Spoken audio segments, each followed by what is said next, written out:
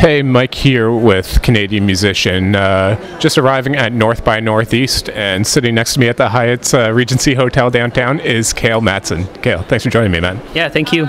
And uh, so, like we were uh, just mentioning, you just found out only three hours ago. You were saying that uh, your latest album, "Someday the Moon Will Be Golden," was nominated or longlisted for the Polaris Prize. Uh, Yeah. First time with your third album, the first time you've been uh, on the Polaris list. Uh, I guess having literally just found that out, what's uh, what do you think about it?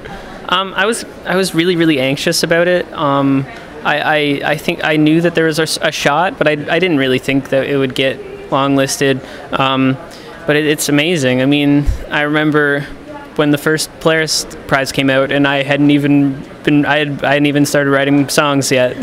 so it's it's it's amazing, and, and it's a really good list this year. So yeah. Nice. And uh, yeah, like you were saying, I, I haven't actually just came out today. The list. I haven't actually seen what's on it. Um, before getting a new one, if you've been taking a look, you said it's a good list. Uh, for you, let's assume that you will be shortlisted. What, what, what, what, do you think you'd be up against, or who do you think uh, would else be on there? Well, if I was a betting man, I would not bet on my record to get on it. Uh, I, th- I think the Mac DeMarco record's great. I really like the Timber Timber record. Um, the Bry Webb record's really good. Um, it's a really good list, and a lot of records that I, I genuinely love. So it's, it's really, I feel honored to have the rec- my record in there. Yeah. And like I mentioned, uh, your latest record, now the Polaris uh, nominated record, we can call it. it's uh, someday the moon will be golden. Uh, with it, it's your, I believe it's your fourth release in five years, third LP, and you also have an EP in there.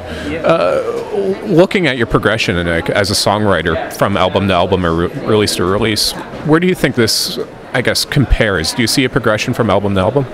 Yeah, I, I think it's really obvious. Um, I worked the hardest on this record, and I spent the longest amount of time on it. And um, you, you know, I think it's. I mean, I think it's the best one, and uh, I think for me, when you hear the records, you can. There's an obvious progression because I, I've only I've only been doing it for a, a short enough pound, um, you know five years or whatever I've been writing songs. So I think like each release there's a real progressive shift in terms of you know the songwriting and the sounds of the record and just getting closer to what you know I hear in my head. I guess I yeah. And the the writing for this album, um, as you've been pretty open about, like it comes from extremely personal and also a bit of a well, I wouldn't say bit. It is a, a tragic place that it comes from. Uh, it's heavily inspired by the uh, the passing of your mom when you were in high school, which. Uh, I believe you're, if I remember correctly, you're in grade 11 or around that time. But why, I think it's been five or six years later, why revisit such a personal uh, spot in your life for this album at this time?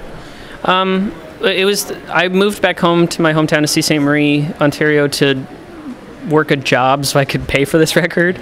Um, and I ended up, you know, I had a lot of the music, but I didn't have the lyrics for the record. And I ended up writing, you know, all the lyrics to the record in my childhood home, which was, you know, for the first time in five years, I was living there in my childhood home alone for the first time. And, you know, I, I, really genuinely be- believe that for me personally, I don't think most 16 year olds are capable of sort of dealing with, um, you know, losing a parent. And I didn't deal with it, and I sort of dealt with it by writing the record. And and um, yeah, you, I think you hear that for sure.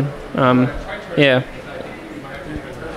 When when did you first start writing songs? I believe you were only 19 when your first album came out. Eh? Yeah, my first record was I got really lucky and I got to record the first 11 songs I ever wrote. Um, yeah, I got to record them for free, and uh, you know, like most people wouldn't have a record that early on, but I just happened to get a really you know lucky opportunity, and you know, for most people, I think that would be a demo. So you know, uh, in a lot of ways, I think you know. The new record is the, my first record because I feel like it's the first one in a lot of you know in a, in a bunch of different ways. But um, yeah, yeah. So Actually, I'd kind of like to expand on that point when you say it's it feels like your first record, uh, which I guess could come as a surprise. May seem odd considering you've had three. Well, this is your third full length and an EP in there. It's a lot of output. In what sense is this a? Do you mean that in a sense that this feels like your fullest, most, uh, I guess, well-crafted record? Like, how do you mean that? Yeah, I mean, I think yeah, it totally is. It's the one that I spent, like I said, the most spent the most time on. I feel like I got to record it in a way that I wanted to for the first time, um, and I just felt like you know, I'm not embarrassed by this record, right, you know, and I don't hate the songs, I don't hate playing them every night, which, you know, every, all my other re- releases weren't sort of caught up to me by the time they came out. Like, I wrote them, recorded them, and then six months later they come out, and I'm already past it. And I feel like with this record, it's still, it's, it's, uh, you know, holding its own, I guess, you know, and I, I still, I mean, I have another record already written, but I still like this one, and I still like playing it every night few things in there actually that I want to touch on, but we say like with the the previous records, by the time they came out and you're you're promoting them, play, uh, touring, uh, you say you're embar- like were embarrassed by the songs. Like, is that just because you didn't think they were well written? Like, well, how is that? I'm not embarrassed by all the songs, certain ones, but yeah, I mean, I think that a lot of them sound like I was 19 or 20, and although this one sounds like I wrote it when I was 21, and I was, but uh, I, I, it was a really big shift for me. It was a really big shift for me on this record. Um, um, yeah, I mean, I, li- I don't listen to them ever, but when I do hear one of the older songs, it sounds so bizarre to me. Like especially my singing and stuff like that too. Like a, uh, this record, I think I finally sort of got closer to sounding like me. Yeah. And well, with that, and there's a few. Like, I uh, just earlier today, I was listening to uh, "Thick as Thieves" kind of on repeat. I love that song. Oh, thank you. And uh, but that also came with, as I've seen you talk about in the past, uh, "Thick as Thieves," as well as I think it was "Waterfalls," the other song that had these what are always called viral videos, kind of blew up online and that. And but with that, especially for an indie artist or uh, emerging artist like yourself. Wh- what's the place of a music video in this day and age? Like you've seen what it can do with those two songs, but in an era when music videos aren't for TV, they're really an online medium. Do you see them as essential? Are they tools? Like essentially, what's the purpose of a music video? I think it's uh, it's a really good way of getting you know your name out there, and then hopefully your song out there, and hopefully your record out there. I mean, to have a good one can do a lot of stuff for you, especially press wise, and um, you know, I mean, I, I feel really happy, like, you know, lucky that I got two really good music videos. I didn't make them. I mean, uh, I wanted them to go viral, and it was definitely when me and my friend Kevin Perry, who made um, those music videos with me, we wanted to make viral music videos, but we didn't. You know, we didn't have any money. We didn't have any. We didn't even have a publicist for Thick as Thieves. It really just happened completely on its own. Um, but it, it's it's huge. If you can have one, it's amazing. Um, but it's weird. The internet's a really weird, fickle place, you know, and it's um, to get people to stare at something for three and a half minutes is really hard. yeah. Fair enough. And, uh, now to kind of back up uh, a minute ago, you said that for the first time with this album, uh, "Someday the Moon Will Be Golden," you you said it was the first time you've recorded it the way you want to record it. Uh, with that, what was that recording process? Um, it was, pretty scattered. I mean, I, maybe it wasn't exactly the way I'd want to record it, but it was. I, I was really happy with um, that. It, it took a really long time to record it, but that allowed it allowed me to you know think of the songs differently, and it wasn't rushed. You know, it was. We took our time with it, and we, we tracked most of it here in Toronto um, with Gavin Gardiner, who plays in the band The Wooden Sky, and he produced the record. And um, I recorded a lot at home as well. Um, but it was, you know, I got to spend time on it, and I never spent any time on, on my other records. It was we record it for the two weeks that we get to record, and that's it. It's done, you know. And this one, we sort of it was like almost a full year from pre-production to actually being done with the final master. And uh, go back to songwriting. I'm just always curious about who your influences were if you see a direct influence of others in the work you do like for me whenever i hear something you know na- names of other artists will pop up to me as far as what it kind of sounds like or what i think it's uh, it might be inspired by but i'm always curious of whether that actually matches up with what the artist sees like who who to you are your direct influences um, Wilco is probably the biggest one. I mean, they're, they're my favorite band like ever, uh, uh, and Jeff Tweedy's easily my favorite songwriter ever.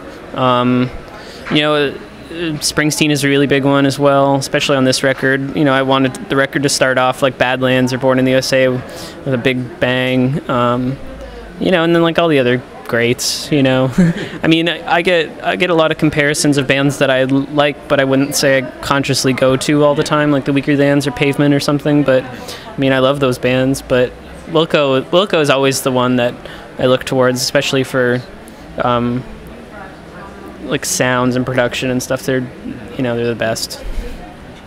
I, I could see that's particularly uh, kind of like the Yankee Hotel Foxtrot, Sky Blue Sky era Wilco. I could definitely kind of see that influence in you, or see this, see it sonically a little bit in what you do. Yeah, totally. That's that's that's my bag. Yep. and finally, uh, Elsie you just mentioned a little bit ago that you already have a follow up to the latest album already written. Yeah. When uh, well, when did you finish recording this one? And are these songs that are left over from those, or are they all songs you wrote, you've written since you finished recording the latest album? No, I, I, I sort of write a bunch of songs and I figure out what 10 or 12 are going to be on the record. And then I, you know, those remaining 20 sort of get thrown away. They're, you know, they weren't good enough. And then I finished writing this record. Like the record was done, um, like midway through 2013. So like around now, a year ago now. And so, um, you know, it took me a long time to start writing again because I didn't really especially with something so personal. I wasn't sure what I was going to write about again and if it would mean as much to me. But um, yeah, I've got another record. You know, I got like 15 songs. I'll probably write a bunch more and I'll have a record and we'll probably start recording it next year sometime. with those kind of like how this album had had a uh, a lyrical i guess theme or starting ground in it with you revisiting uh, your personal life and past is the, uh, the songs you've written for a follow-up is there any tangible uh, starting point in a similar way or Yeah, totally. Um, I feel like uh, I, I sort of found what I do with this, with someday the moon will be gold, and um, um, yeah, definitely. Like I, I found, I, I, it's not, it's not the same thing at all, but I, I, yeah, I think um, this rec- this new record definitely has a story, and it's, you know. It's not a concept album, but it, it's an album that has a concept in it. you know, yeah. I can't wait to hear that when it eventually comes out. But in the meantime, people can uh, check out the Polaris nominated uh, "Someday the Moon Will Be Golden." It's a fantastic bit of songwriting, and a great album. And congratulations again on the Polaris nod, man. Thank you. It's, it's crazy to hear it said. Yeah. Cheers.